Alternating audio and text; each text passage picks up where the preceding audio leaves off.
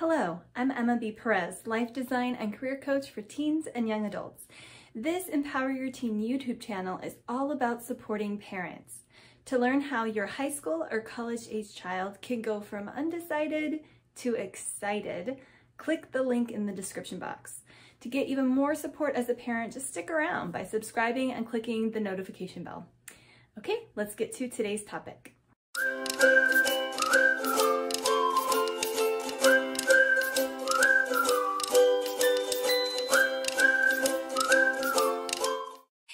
Hello, everyone, and welcome back to Empower Your Teen. I'm Emma B. Perez. Today we have with us Debra Beck, who is author of My Feet Aren't Ugly, A Girl's Guide to Loving Herself from the Inside Out. Debra's life work is all about helping young girls learn to truly love themselves. As a parent of two daughters, she's also devoted to guiding parents through these turbulent years and give them tools they need to create a harmonious connection with their teens. She facilitates workshops, mother daughter retreats, girls groups, parenting groups, and individual mentoring at Empowered Teens and Parents. Because she has experience being a tormented teen and a worried parent, she mentors with heart and compassion. Debra, thank you so much for being here. Thank you for having me. I love, I love, I love interviews with you. I just love it. I know. Yes, for those of you who don't know, Debra and I have done this before and we enjoyed it then and it's going to be a blast tonight too. It's always a joy having you back. Yeah. Okay, so before we get into the nitty gritty, would you mind just kind of sharing your story and how it is you came to mentor uh, teens and parents? You bet. So, you know, as a pretty tormented child and teen, and I didn't really have a good support system at home.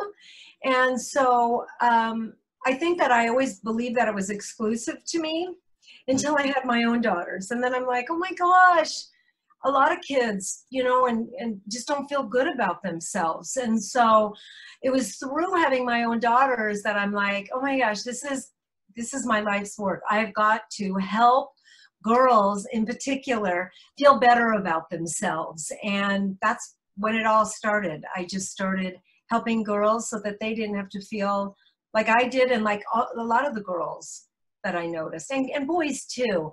I just have always worked with girls well, that's so great. And you also work with parents as well, right? I do. And I work with parents. Well, it's funny because I used to work with just only teens. Mm-hmm. And then I realized, oh my gosh, I am in no man's land unless I'm working with the parents. Then I brought the parents in. And now, even though I work with teens as well, I work mostly with parents. It's, and boy, we make huge, you know, shifts in behaviors when I work with the parents. Yeah. So. That's amazing. Well, I'm so glad you're here because, uh, you know, my expertise is college and career. It is not parenting. so sometimes, you know, I'm, I'm working with a teen and, and sometimes the questions come up from parents about dynamic between them or something like that. And I'm like, right. talk with a parenting mentor, you know?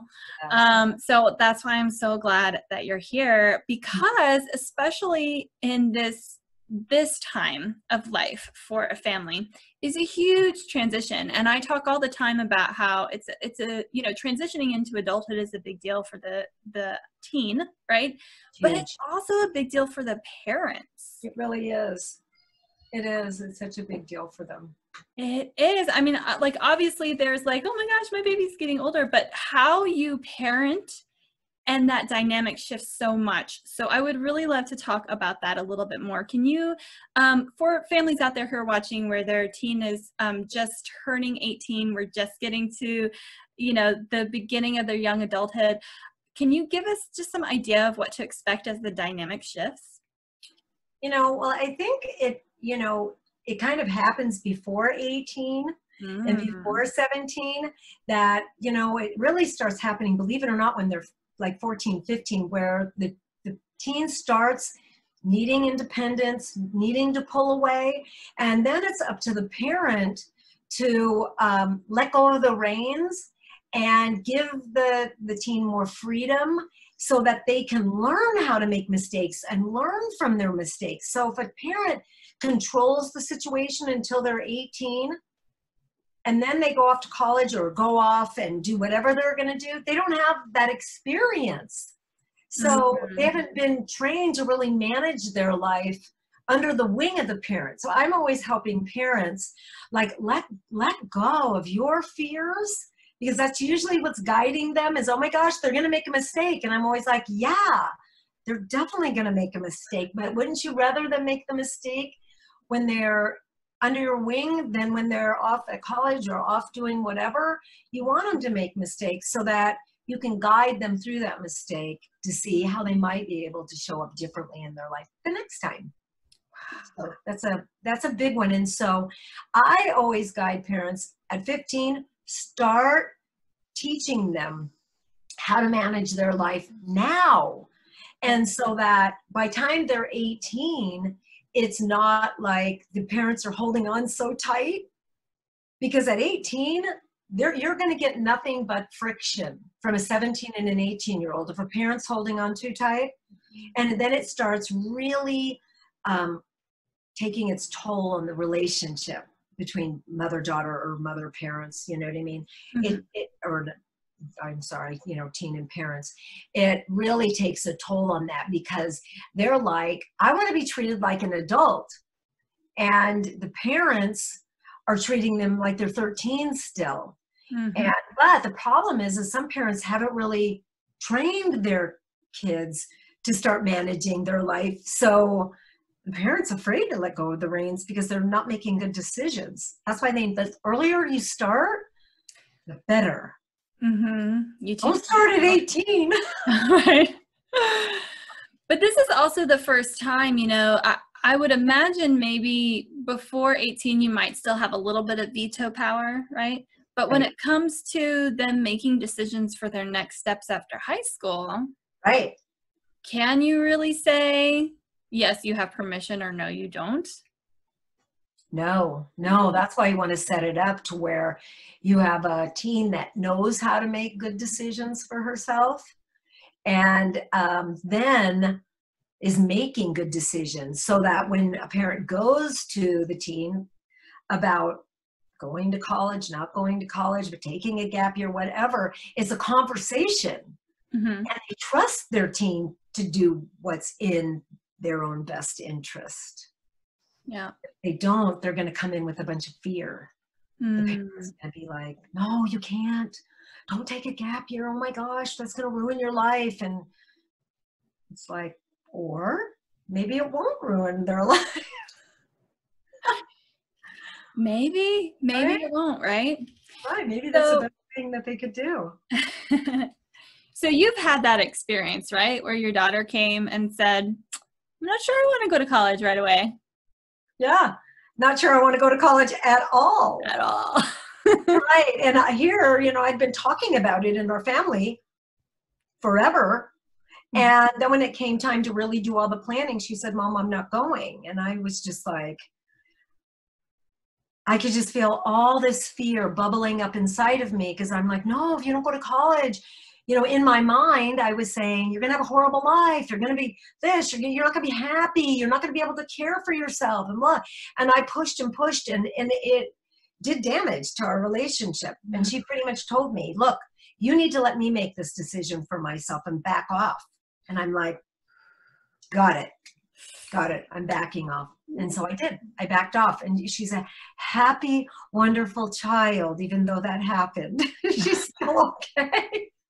even though I thought her life was going to be ruined. hmm It's a hard one. It's a hard one. So, what advice do you have for parents if their kids are coming and saying, "I want to consider other options," or "I want, I'm considering this gap year"? Um, what advice do you have for parents for for that to not happen, where where it doesn't affect your relationship, or you're not told to back off? How can you help them through this decision?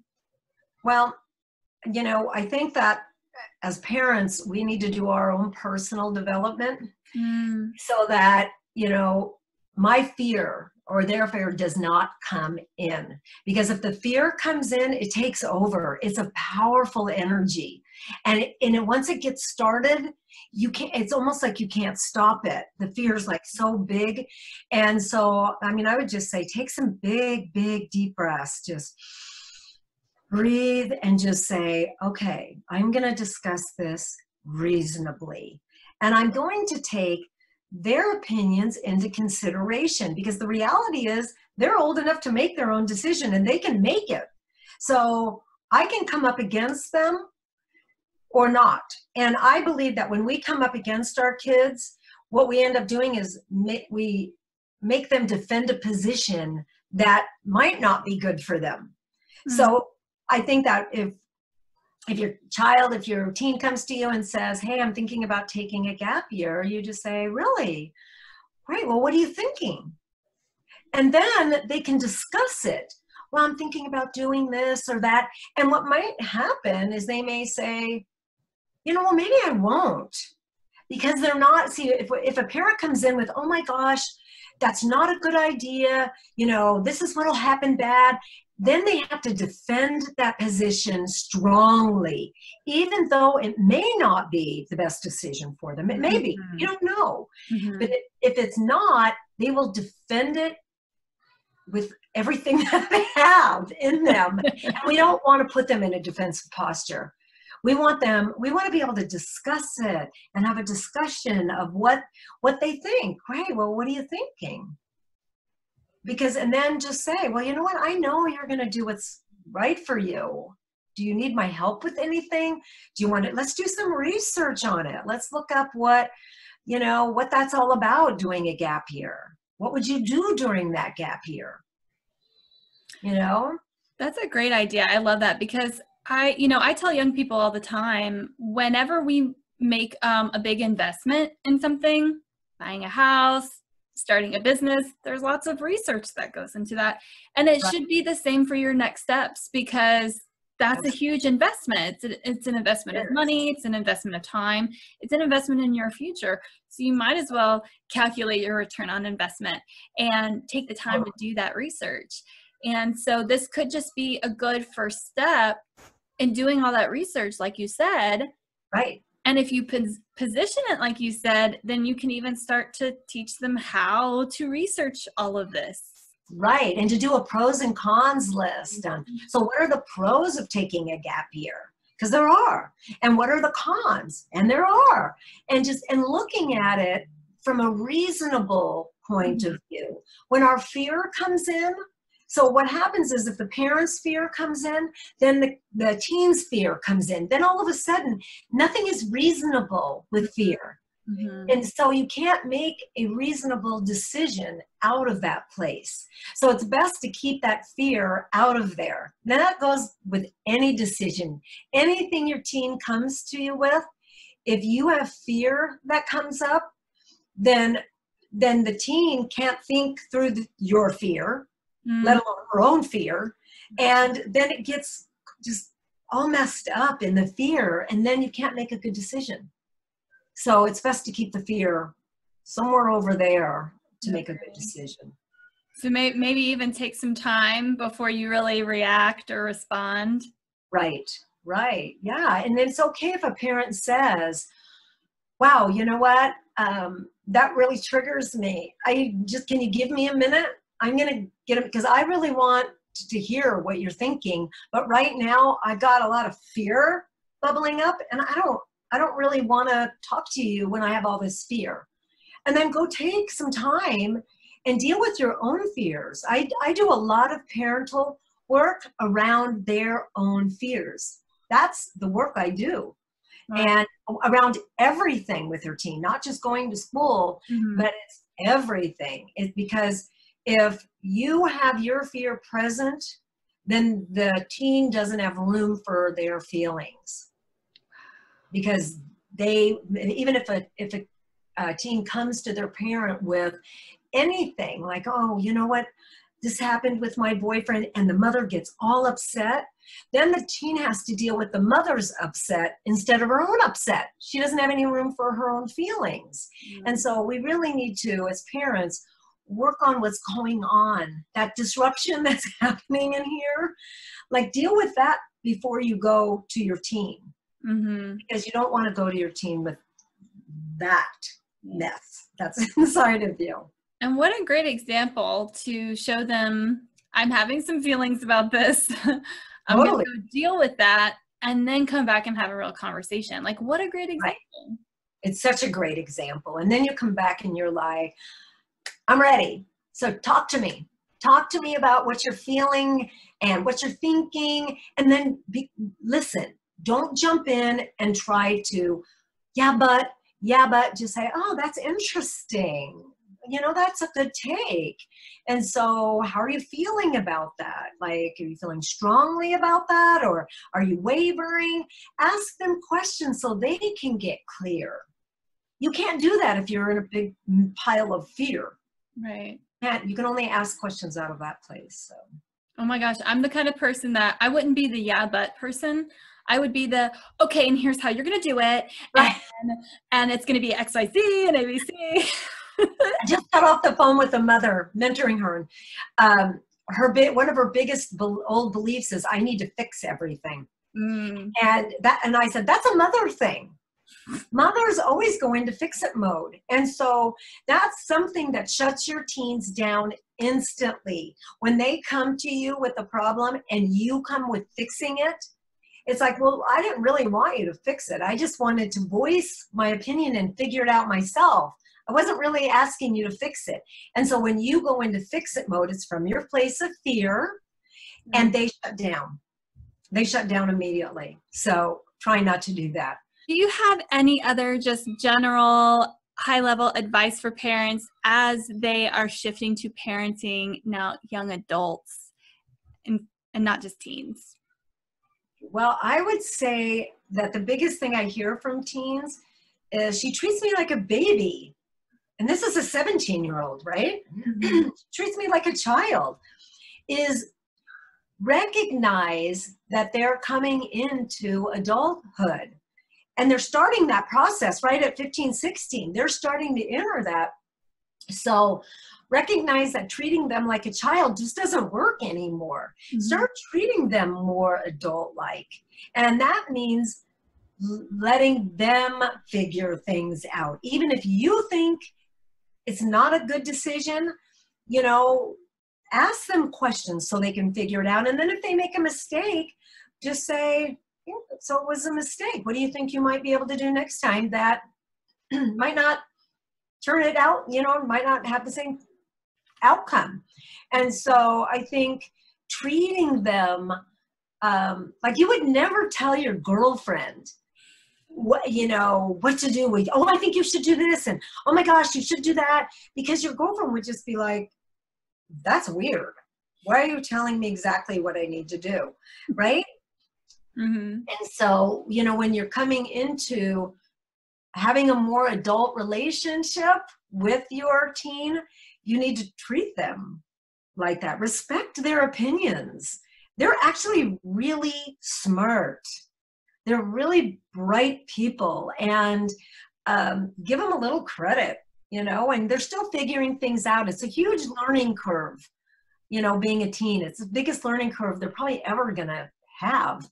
But they also have they're pretty connected to their intuition if we can help them. And i think that when we make all the decisions for our kids we take away all their intuition. We just you know we don't leave them with anything to, to feel like well what am i feeling? Is would that be a good decision? Would that not be a good decision? Oh my mom just made that decision so i don't have to think about it Yeah, you know that's actually something that I see a lot. Not not always because of parents, but just because of high school. Mhm. You know, the the way school is, they have Yes. very little um, opportunity for choice over their own, you know, true life or you know how they want to schedule their day or whatever it is and so it's already a hard enough transition a lot of times even into college because college is such a different um, Right. Dynamic and experience that that can even be a big transition just because just because of their educational environment you know so what a great opportunity for them to learn these things underneath the wing of their parents rather than um, waiting until they get to that age to suddenly have to do do it all themselves. That's why a lot of teen, teens, when they go to college, they they go cuckoo crazy because it's like they're free for the first time, and they sort of have a schedule. You know what I mean? Because they still have a schedule, but you know, they don't know what to do with all that freedom. Yeah. yeah exactly and this is another reason why um, you know i like the idea of a gap year because it's a little bit of like some people think of it as like a wasted time or putting things off or whatever. But to me, it's an extra year and it's an extra year to learn about life underneath the wing of the parent, wh- whether they are still at home or not. Like they, they can be doing right. the program, but it's just an extra year of maturity. It's an extra year of kind yeah. of learning about life and figuring things out before you get into the stress of uh-huh. college, you know. Right, right. Yeah. And I think that works really well for t- uh, some teens, you know. And some teens just want to jump in and do the whole college, you know, some kids have just loved the learning environment. They want to be in it. They go from that to their masters and they keep going and they keep going. But some kids need a break, you know, especially I think now because I think high school, the way it's set up, you know, I I'm shocked at the homework that kids have. I mean, I'm like, are you kidding me? They go to school all those hours, then they come home, they eat a snack, and then they have like three to four hours of homework. They can't even, they're like missing their childhood. I did not have that kind of homework yeah. when I was growing up. And neither did my kids. They had homework, but nothing like they have now. I'm not quite sure what's going on in the system.